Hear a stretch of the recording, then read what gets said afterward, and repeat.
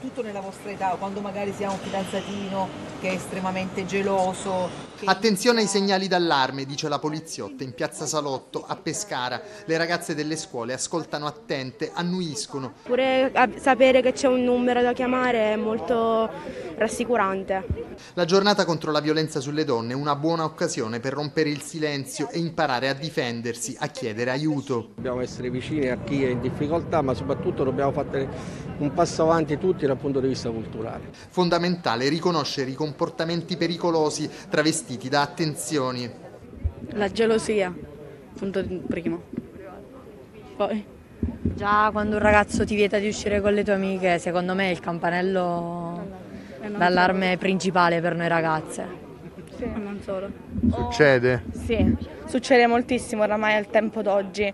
Pure se un ragazzo ti dice quello non lo puoi mettere, quello neanche, anche quello è un grandissimo campanello. Sui social magari vuoi mettere una foto che a te piace, che magari dove tu ti senti bella, però eh, viene appunto proprio privata di questa libertà. Ci sono eh, ragazzi che hanno, soprattutto ragazze che hanno chiesto eh, di potersi confrontare eh, con i nostri psicologi. Le ragazze di oggi hanno il coraggio di raccontare storie che una volta restavano nascoste. Una persona della mia famiglia veniva attaccata, umiliata. Dopo anni comunque è stato detto